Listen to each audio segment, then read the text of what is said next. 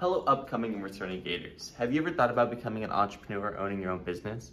Then we have the perfect class for you. Let's talk to our business teacher, Ms. Saracini. Why is it important that a student that's interested in entrepreneurship take this class? This class offers many opportunities for young entrepreneurs. Um, we go through the whole business cycle from an idea and a concept of running a business to the marketing aspects of the business and the financial aspects of the business.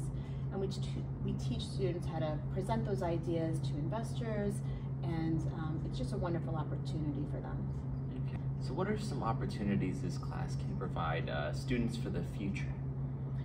So students have a great opportunity in entrepreneurship. They get a chance to become certified in entrepreneurship and small business. It's a national certification and that um, basically tells employers that our students um, were able to complete the program and are able to understand the concepts of owning and operating their own business.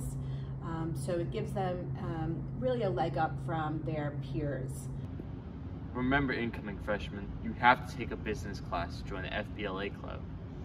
I wish I could have taken that class. But it's not too late for you. Consider taking this class with all its given advantages. That's all for today, Gators. Now back to our anchors.